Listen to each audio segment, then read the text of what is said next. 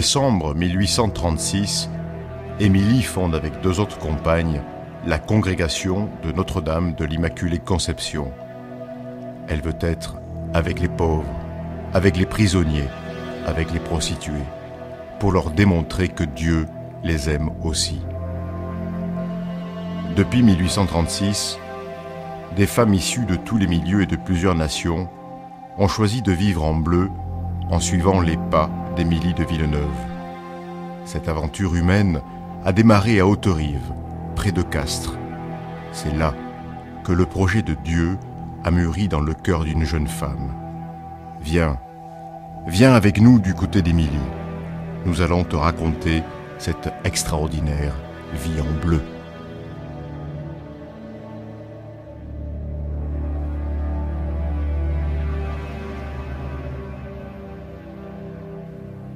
Tout abandonné pour les pauvres. Fallait-il être une rêveuse inconsciente pour oser quitter tout ce qu'une jeune fille de la noblesse peut espérer? Dans un monde masculin où l'homme domine la vie sociale, Émilie est une femme au sens plein du terme. Son éducation l'a préparée à rompre les barrières culturelles et sociales. Elle réfléchit, elle débat. Intellectuellement, elle est en avance sur son temps. Il lui faut agir. Elle renonce à son mode de vie confortable. Écoutons Émilie de Villeneuve. Les sœurs de l'Immaculée Conception ont pour fin unique de procurer de tout leur pouvoir la gloire de Dieu et le salut des âmes. Rien ne devra les rebuter lorsqu'il s'agira d'éloigner de pauvres victimes du danger ou de les retirer de l'abîme. Elles travailleront à jeter la bonne semence dans les cœurs. On ne négligera pas de leur donner une instruction solide. On s'attachera particulièrement à leur apprendre à travailler.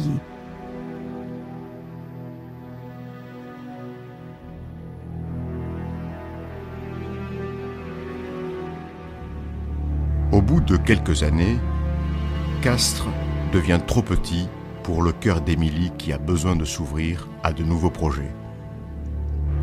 Son amour pour les pauvres est capable de traverser les océans. Son père, officier de marine, lui a parlé de la condition des esclaves noirs. En 1848, des Sœurs Bleues débarquent à Dakar, au Sénégal, pour aider un jeune prêtre dans sa mission. Partir en mission. Pourquoi partons un jour? Enfin, leur désir de faire aimer Jésus-Christ et de le servir dans ses membres ne se bornera pas aux limites de la France. La congrégation a encore pour fin de se dévouer à la belle œuvre des missions étrangères, et généralement des peuples les plus délaissés et les plus méprisés.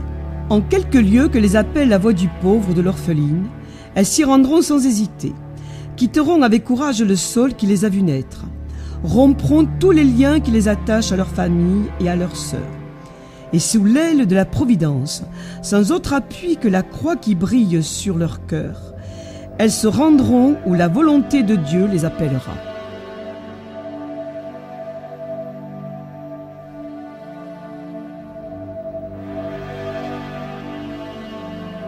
L'amour, n'est-ce pas l'idée la plus folle, la plus inconcevable, dans un monde où l'homme oublie sans cesse sa responsabilité vis-à-vis -vis des plus vulnérables? La guerre fait oublier la paix. L'amitié s'efface sous les injures. L'harmonie souffre de la violence. La justice manque de respect. La création est menacée. Dieu nous parle d'amour. Pourquoi rester sourd à ce projet? Ayez une sainte prédilection pour les pauvres, les petits, les faibles et les affligés. Reprochez-vous comme une faute la moindre négligence à donner du secours et de la consolation à une âme éprouvée par la maladie, par la pauvreté ou par quelque affliction que ce soit.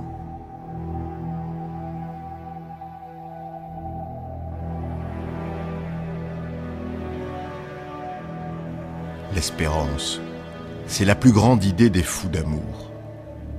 L'espérance, ce temps d'attente pendant lequel tout est possible, temps raccourci par les fous de guerre, et toujours rétabli par des semeurs de paix. L'espérance, cette vibration dans le cœur qui libère les opprimés, qui engage les plus pauvres à s'épanouir, qui soulève les indécis quand le moment est venu d'agir.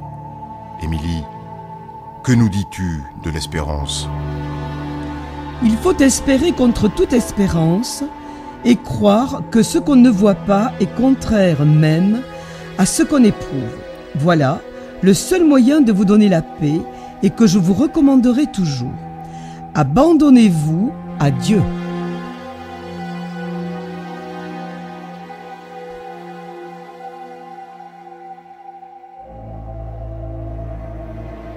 Peut-on sortir de soi S'oublier, ne serait-ce qu'un jour, pour découvrir que l'espérance est à portée de main quand on regarde l'autre, humain, tout comme nous, avec des yeux d'amour? Ce projet de fraternité est la plus grande liberté qu'il nous est donné de vivre. Émilie, faut-il être saint ou bienheureux pour accepter ce défi? Toute mon ambition est de travailler à me sanctifier et à sanctifier les autres afin de ne pas mettre obstacle au dessein de Dieu.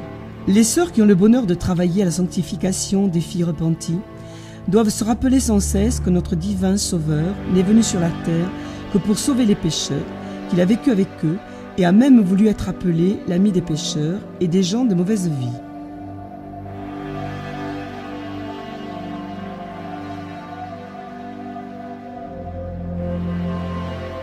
Pourquoi est-ce si difficile de partager le projet que Dieu nous offre? Aimer son prochain comme soi-même, aimer ses ennemis. L'amour, un projet pour toutes les femmes et pour tous les hommes, un projet qui n'attend pas. Alors, combien de temps, combien de temps faudra-t-il encore, combien d'années, combien de jours pour que les hommes vivent d'amour?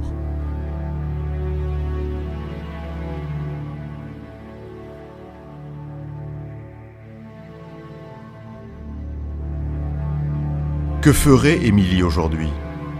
Où enverrait-elle ses filles? Quelles seraient les blessures qu'elle choisirait de soigner? Quelle prison visiterait-elle? Qui accueillerait-elle dans ses écoles? Quelle réponse donnerait-elle aux conflits sociaux et moraux? Et toi, que fais-tu quand ton regard croise celui du pauvre? Échappes-tu ou prends-tu le temps?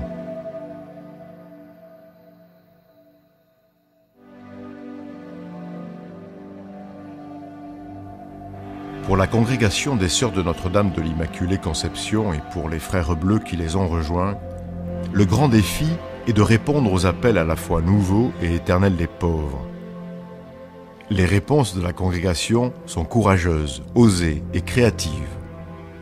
Depuis 173 ans, 2376 religieuses sont entrées au service de Dieu, seules, des femmes pionnières, qui ont l'audace de partir là où la voix des pauvres les appelle en France, en Argentine, au Bénin, en Bolivie, au Brésil, au Congo, en Espagne, au Gabon, en Italie, au Mexique, au Paraguay, aux Philippines, au Sénégal, en Uruguay et au Venezuela.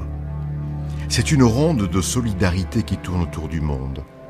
C'est une ronde d'amour qui s'épanouit dans l'évangile de Jésus-Christ. C'est une ronde joyeuse qui puise sa tendresse dans le regard aimant de la Vierge Marie. Cette ronde, tout en bleu, porte le projet d'un monde meilleur. C'est une aventure simple et humaine qui nous invite à aller là où la voix du pauvre nous appelle.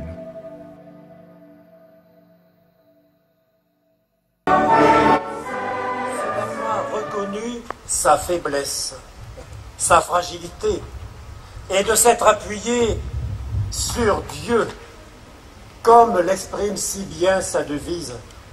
Dieu seul.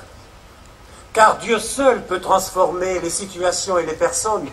Dieu seul peut faire de grandes choses. Cette conviction l'a soutenue alors que beaucoup de personnes doutaient d'elle, lui faisaient des reproches. C'est aussi dans ce même esprit, nous l'avons entendu tout à l'heure, qu'après avoir vécu dans la pauvreté, après avoir cherché à obéir à tout ce qui lui était demandé, elle a donné sa démission de supérieur général pour achever sa vie simplement au milieu de ses sœurs. Ce que Émilie de Villeneuve a vécu intensément, est aujourd'hui un appel adressé à chacun. Recevons-le par le sacrement de l'Eucharistie que nous célébrons maintenant. Amen.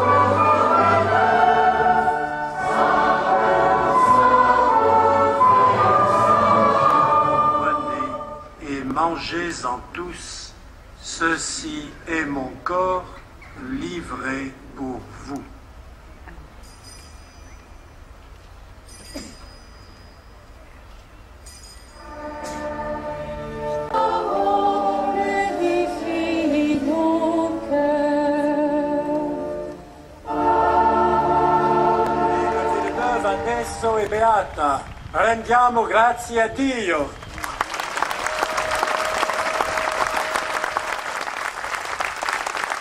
Et puis les délégations venues de tous les pays d'Europe, France, Espagne, Italie, d'Afrique, le Bénin, Gabon, République démocratique du Congo, Sénégal, et l'Amérique latine, Argentine, Brésil, Paraguay et.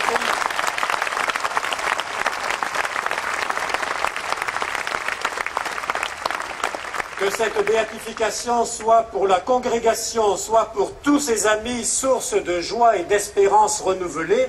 Merci à vous tous, frères et sœurs, qui êtes venus parfois de loin pour prier et vous réjouir avec nous.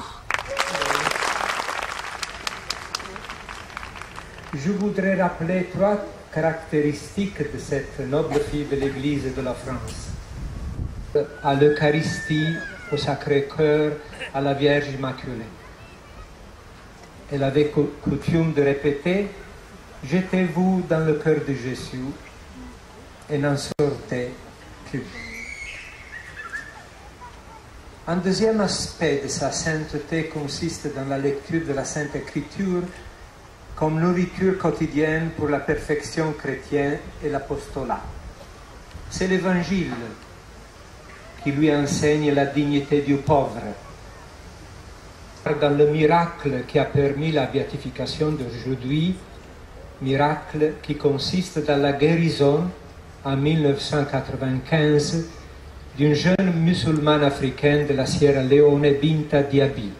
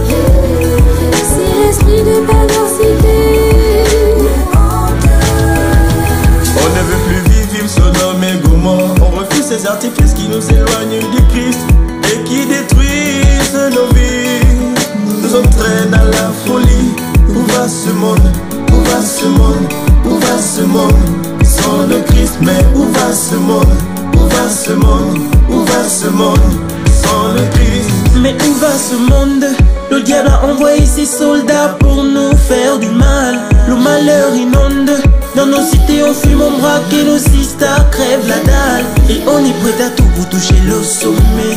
Les soucis, on est obligé de consommer. Père céleste, Père céleste, la terre est en détresse.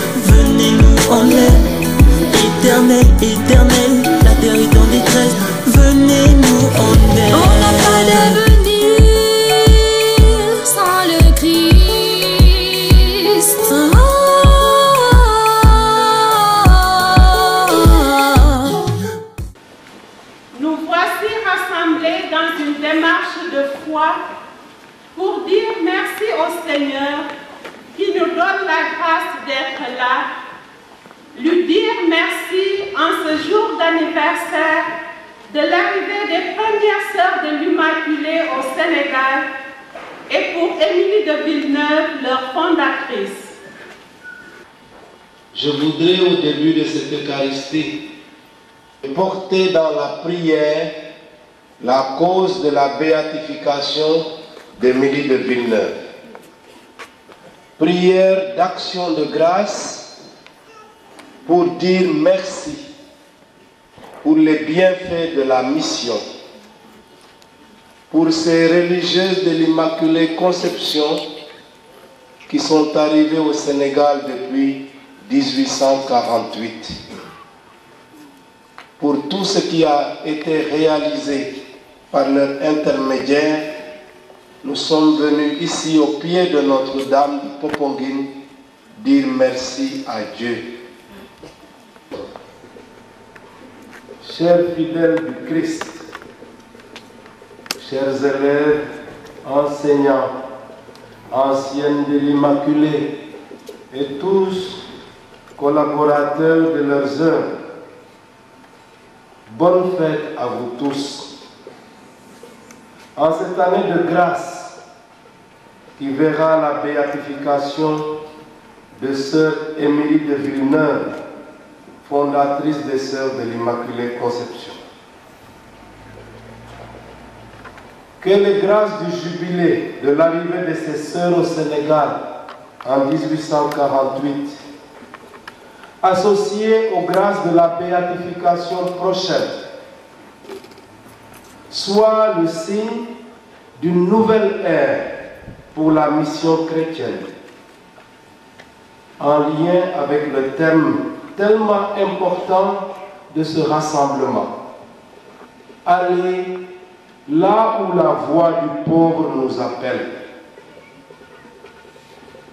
On ne pouvait pas trouver thème plus actuel quand on pense aux différents programmes de lutte contre la pauvreté.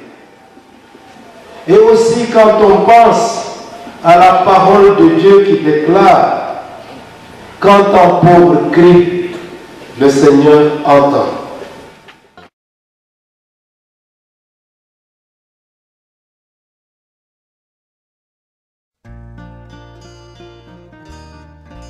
Un évangile grand ouvert, toute sa vie en est la preuve.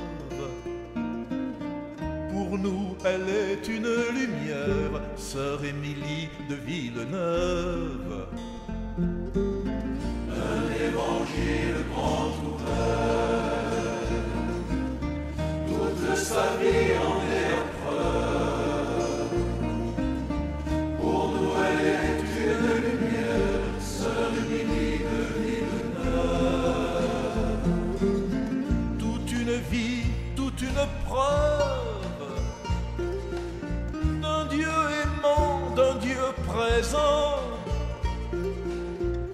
compris même dans l'épreuve et la dignité de la vie. Son idée reste toujours neuve, son œuvre est à contre-courant. Elle se nomme de Villeneuve et se prénomme Émilie.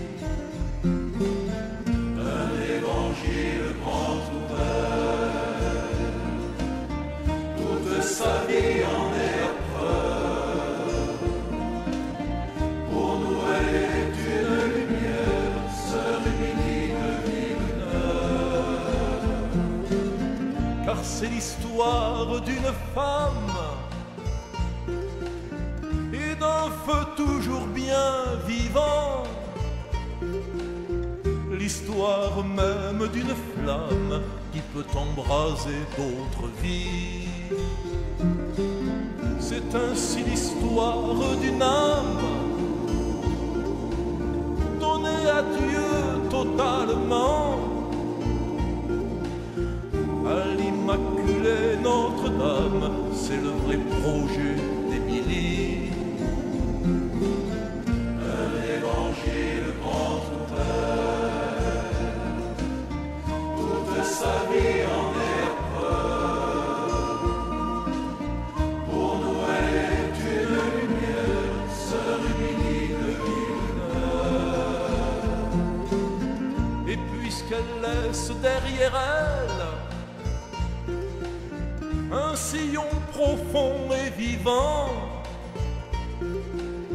Dieu et les pauvres nous appellent, c'est là tout le sens de sa vie. Une route encore actuelle, Dieu aujourd'hui, Dieu maintenant. Ainsi les sœurs bleues nous révèlent l'immense passion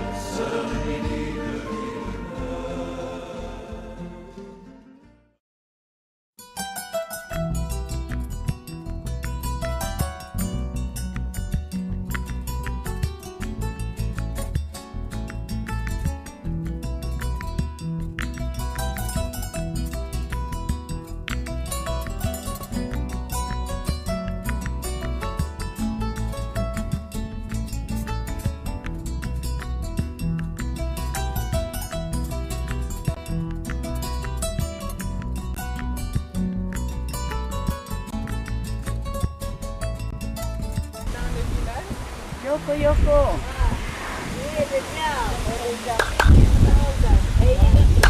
Dans ce village, les femmes n'ont pas encore de moulin. Dans plusieurs villages, les femmes ont pu avoir des moulins, mais pas encore dans le village de Lulisingan. Donc la tâche, elle est très lourde pour elles. Il faut piler. Et pour enlever le sang, il faut piler et pour faire la farine avant d'arriver à la transformation et pour arriver aussi à la préparation.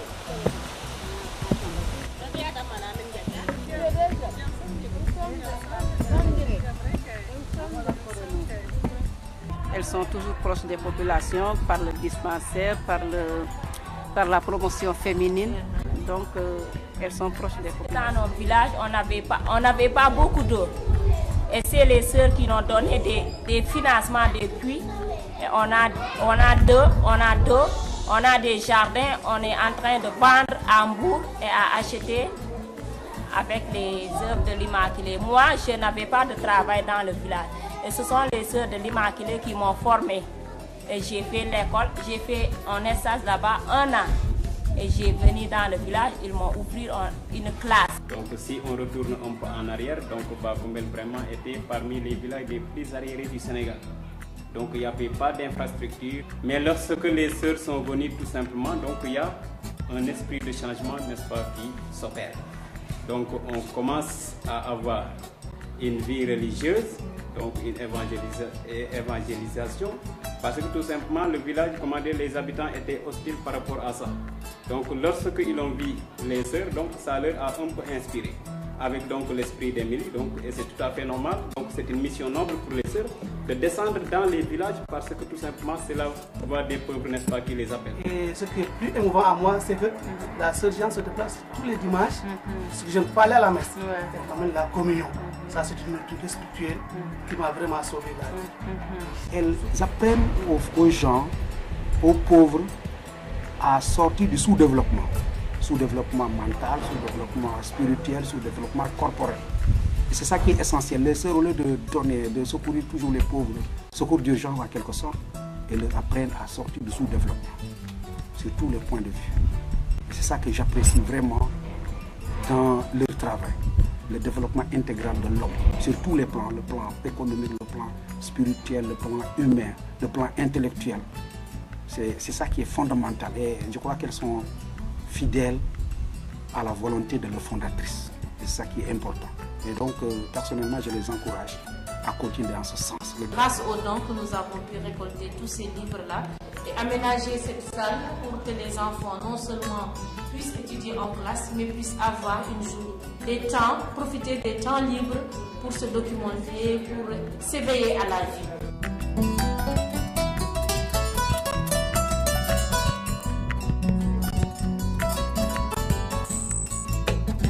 il s'agit tout simplement pour les chrétiens d'aller euh, avec beaucoup de sérénité et de courage, avec beaucoup d'audace à la rencontre des musulmans. Il ne s'agit pas de faire des musulmans des chrétiens, encore moins de se laisser en tant que chrétien phagocyter par la religion musulmane, mais c'est en restant profondément enraciné dans sa foi, chacun pour son compte, qu'on peut témoigner de la vérité de son credo et s'enrichir, se laisser interpeller par la différence de l'autre. Voilà, c'est ainsi qu'on distingue généralement quatre formes de dialogue. Le dialogue de la vie, le dialogue des œuvres, le dialogue spirituel et le dialogue doctrinal. Euh, votre mission, c'est d'aider, c'est d'aimer, c'est de soulager les souffrances des uns et des autres, euh, qu'ils soient musulmans ou chrétiens c'est-à-dire d'une manière l'être humain. Parce que l'être humain, c'est la créature du Dieu. Donc, euh, cette philosophie-là que vous vivez, nous la partageons avec vous.